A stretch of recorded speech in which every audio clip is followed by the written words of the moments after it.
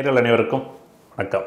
இந்த நாள் இனிய நாள் வாழ்வில் எல்லாரும் எல்லா வளமும் பெற வேண்டும். நான் உங்கள் பொதுவுடை மூர்த்தி அச்சய இலக்கண பദ്ധதி ஜோதிட ஆராய்ச்சியாளர்.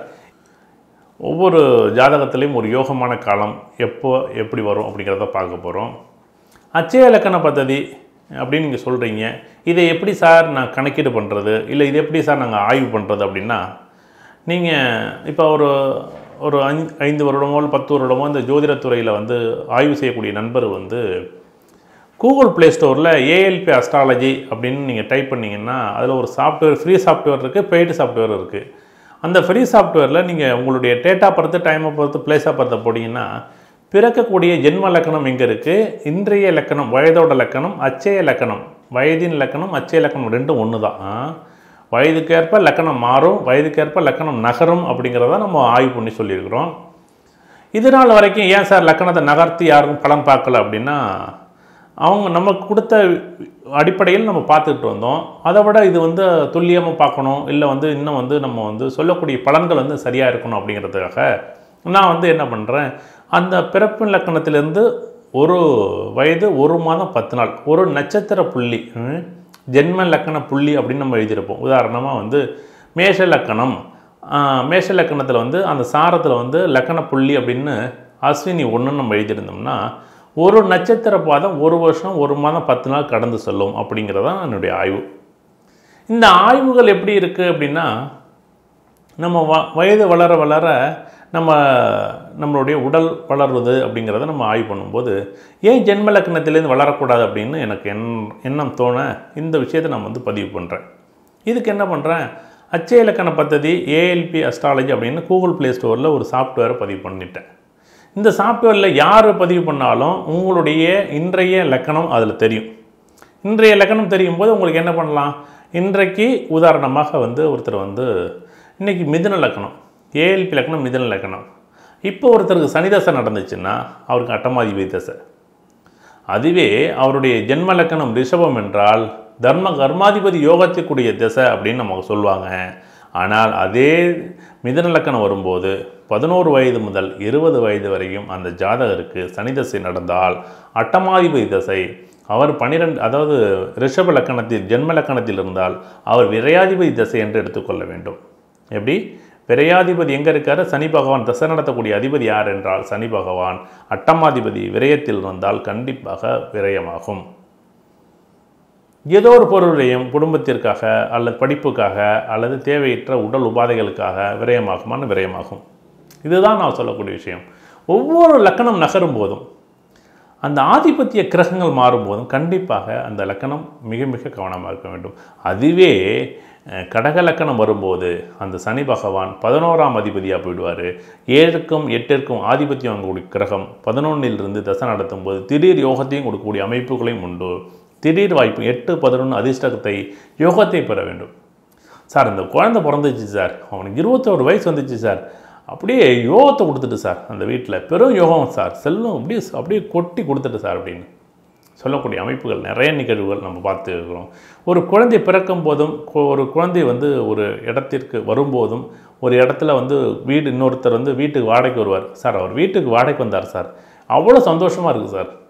அவர் வீட்டுக்கு வந்த நேரம் எங்களுக்கு எங்களுக்கு பணம் அப்படி வந்துச்சு சார் அப்படின்னு நிறைய பேர் சொல்லுவாங்க. உண்மையிலே வந்து இதெல்லாம் வந்து ஆத்மார்த்தமாக வந்து நீங்கள் இது இந்த அச்சயலக்கண பத்ததி அப்படிங்கிற ஜோதிட முறையில் நீங்கள் ஆய்வு பண்ணி பார்த்தீங்கன்னாலே உங்களுக்கு புரியும். கண்டிப்பாக வந்து நீங்கள் எல்லாத்தையும் ஆய்வு பண்ணி பாருங்களேன். நான் தான் சாஃப்ட்வேரே கொடுத்துருக்கோம். புத்தகம் வந்து அச்சயலக்கண பத்ததி ஒன்று பாகம் ஒன்று பாகம் ரெண்டு பாகம் மூணு கொடுத்துருக்குறோம். இதை படித்து பாருங்கள் அதில் வந்து நம்ம பேசிக்காக உள்ள கணக்குகளை சொல்லி கொடுத்துருக்குறோம். அந்த கணக்கில் போட்டு பாருங்கள் உங்களுடைய ஜாதகத்தில். நீங்கள் யாராக வேணாலும் இருந்தாலும் ஜோதிடம் தெரிஞ்சாலும் தெரியலைன்னாலும் இந்த லக்கணத்திற்கு தசாபதிகள் பாருங்கள் ஒருத்தருக்கு வந்து ஜென்ம லக்கணம் வந்து சிம்ம லக்கணம். இன்றைக்கு வயது இந்த இன்னைக்கு லக்கணம் பார்த்தீங்கன்னா அவருக்கு வந்து விருச்சிக லக்கணம். அவங்கள்ட்ட என்ன சொல்லுவாங்க? சிம்ம லக்கணத்துக்கு அட்டமாதிபதி அஞ்சா ப பஞ்சமா சாணாதிபதியும் ப- அட்டமாதிபதி தசை குரு தசை அப்படின்னு சொல்லுவாங்க. அதுவே ரெண்டு அஞ்சு கூடிய யோகத்தை செய்யக்கூடிய ரெண்டு மாரகத்திற்குரிய தசையும் நம்ம சொல்லுவோம் ஆனால் விருச்சிக லக்கணத்திற்கு லக்கணாதிபதி செவ்வாய் பலப்பட்டுச்சுன்னா கண்டிப்பாக யோகத்தை கொடுக்குமான்னு யோகத்தை கொடுக்கும்.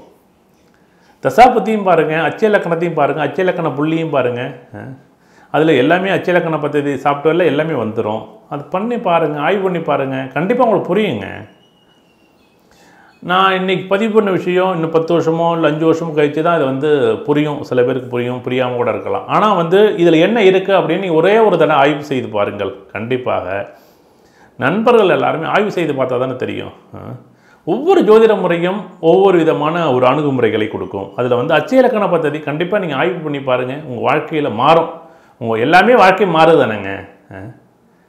நல்லவர்கள் கெட்டவர கெட்டவர்களாகவும் கெட்டவர்கள் வந்து நல்லவர்களாக மாறுவதும் கால சூழ்நிலைகள் தானேங்க.